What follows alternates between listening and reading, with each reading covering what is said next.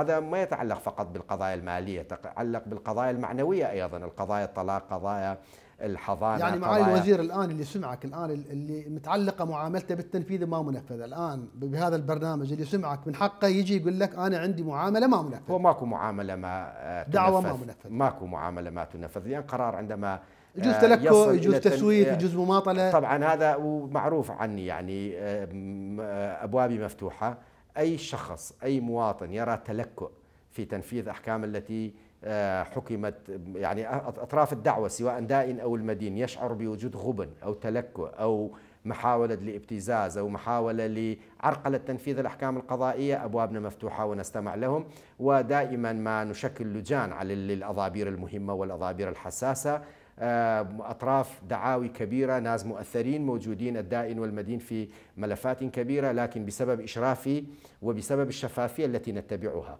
يعني في أحد الملفات الكبيرة اللي كان مبلغ الدين كبير جدا آه، وكان أكثر من سبع أطراف يتنافسون على هذا الدين أنا أقنعت جميع الأطراف بأنه حتى تكونون على يقين بأن وزارة العدل تحقق العدالة وتنفذ القانون حكم القضاء كما هي. أن نجلس معكم ويجلس مدير العام معكم وكلكم تفضلوا لجلسة التنفيذ وأمام الإعلام وبشفافية تامة يقوم المنفذ العدلي تحت إشرافنا وتحت رقابتنا بتنفيذ فقرات الحكم القضائي.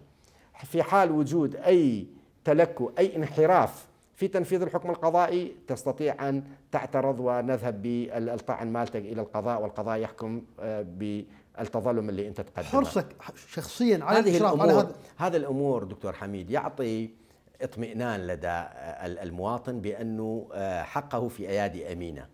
آه، وتشعره بأنه الوزارة طرف محايد لا يقف مع هذا الطرف ضد الطرف الآخر. وهذا ما نبتغيه لأن العدالة قبل ما يكون في تصوري استحصال على الحق أيضا الشعور بأن حقك مضمون. شعور بأن الدولة أنصفك من خلال مؤسساتها اللي وزارة العدل هي أحد مؤسساتها العدلية المهمة. لذلك هذا الملف فيما يتعلق بالقضايا المدنية.